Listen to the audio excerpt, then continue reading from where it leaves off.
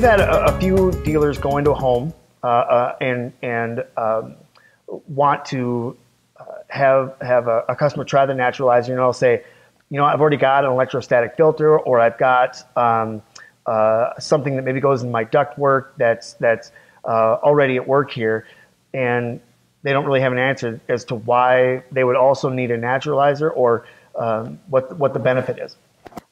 And that's not uncommon because people that usually care about their indoor air quality are the ones that you want to they're, be talking right, to. Right, they're proactive. Right. And I can tell you that almost everybody you ever talk to, this is not the first air cleaning device that they have mm-hmm. been approached with. Right. And I can tell you that almost none of them work.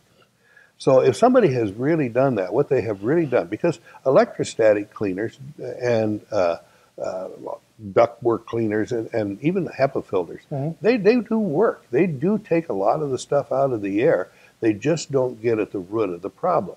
So if somebody has done that, my answer to them is, you know, what you have done is you have now made your air clean. But what you really need to do is to make it fresh.